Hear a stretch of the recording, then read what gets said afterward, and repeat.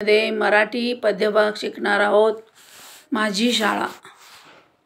तर याचे कवी आहेत दयाराम गिलाणकर. हे मराठीतील प्रसिद्ध कवी आहेत. तर यांनी ही माझी शाळा कविता लिहिलेली आहे. तर तुम्ही आता सध्या कोविड नाईन्टीनमुळे सगळेजण घरी आहात. तुम्हाला शाळेचं वर्णन तुम्हाला कल्पनेनं करता यावं अशी माझी इच्छा आहे. तर तुम्ही अजून नवीन शाळेला आलेला नाही आहात शाळा बघितलेली नाही आहे. नुसती ओझरती बघितलेली आहे वर्ग शिक्षक खोल्या अजून तुम्ही पाहिलेल्या नाही आहेत. तर बघू आपण देवाला प्रार्थना करूया की लवकरच आपल्या शाळेला शाळेत येण्याची बागडण्याची मैत्रिणीशी गप्पा मारण्याची संधी आपल्याला लवकर मिळावी अशी आपण देवाकडे प्रार्थना करूया. तर सुरुवातीला या कवितेची चाल बघणार आहोत. ओवाळी ते जीव जशी माझी माय दुधावर साय शाळा माझी. सुंदर घडतो मातीचा हा गोळा लावीतचे लळा शाळा माझी. जविते शिस्त पुरविते लाड आनंदाचे झाड शाळा माझी. सुविचार धन यशाचं मैदान संस्काराची काण शाळा माझी.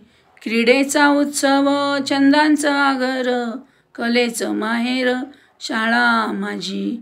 शब्दांची हिरवळ भावनांचं रान निसर्गाचं लेणं शाळा माझी. सद्गुणी शि शिष्य गुरु सदाचारी.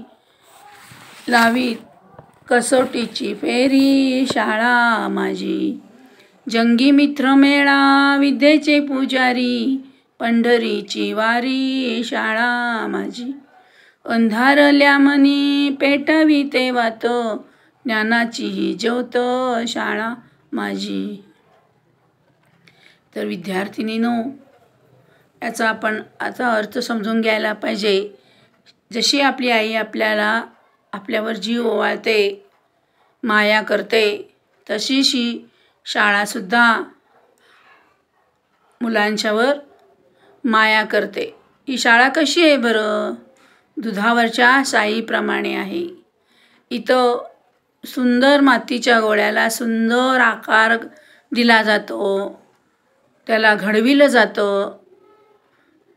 तर लहान बाळाला जशी माया लावते लळा लावते तशीशी ही शाळासुद्धा मुलांच्यावर मुलांच्यावर लळा लावते.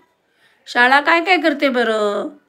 शाळा शिस्त शिस्त लावते लाड करते कौतुक करते. शाळा कशी आहे?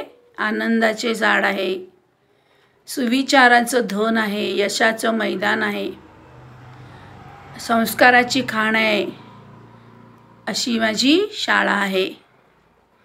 या शाळेमध्ये दरवर्षी क्रीडा महोत्सव केला जात साजरा केला जातो.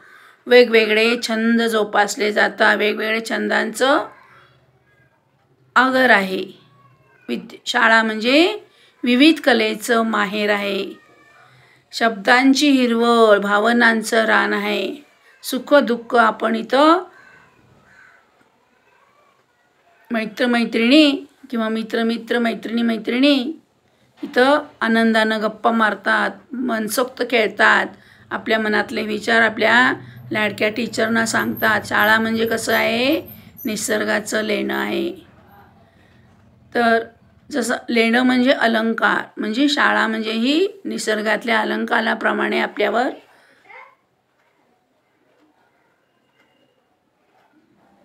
संस्कार घडविले जातात. तर या शाळेमध्ये शिष्य कसे आहेत बरं? सद्गुणी आहे शिक्षकांचं ऐकतात शिक्षकांनी सांगितलेला अभ्यास करतात शिस्त रुजवतात. गुरु या मुलांना शिक्षण देणारे गुरु सदाचारी आहे. चुंग चांगले विचार मनांच्या विद्यार्थ्यांच्यावर चांगले विचार संस्कार घडवितात. कसोटीची फेरी वेगवेगळ्या परीक्षा इथं घेतल्या जातात. अशी ही शाळा आहे. जंगी मित्र मेळा इथं भरतो. मैत्रिणी मैत्रिणी गप्पा मारतात. मित्रमैत्रिणी एकत्र खेळतात एकत्र डबे खातात एकच क्रीडा स्पर्धेमध्ये भाग घेतात. आणि हे विद्येचे पुजारी म्हणजे कोण आहेत? गुरुजी आहेत. विद्या देणारे विद्येची पुजारी म्हणजे गुरुजन आहेत.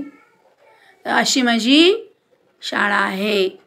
तर अंधारल्या मनामध्ये मनातला अंधार नाहीसा करून ज्ञानाची ज्योत पेटविले जाते.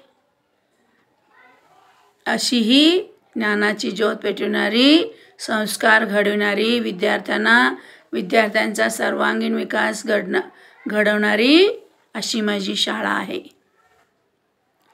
विद्यार्थिनीनो या शब्दांचे अर्थ तुम्ही रुजविणे म्हणजे पेरणे धन म्हणजे पैसा किंवा संपत्ती उत्सव म्हणजे समारंभ शाळेमध्ये क्रीडा समारंभ आयोजित केला जातात स्पर्धा आयोजित केल्या जातात. लेणं म्हणजे अलंकार माय म्हणजे आई माता किंवा जननी कसोटी म्हणजे परीक्षा. विद्यार्थिनीनो इथं तुमची कविता संपलेली आहे. धन्यवाद.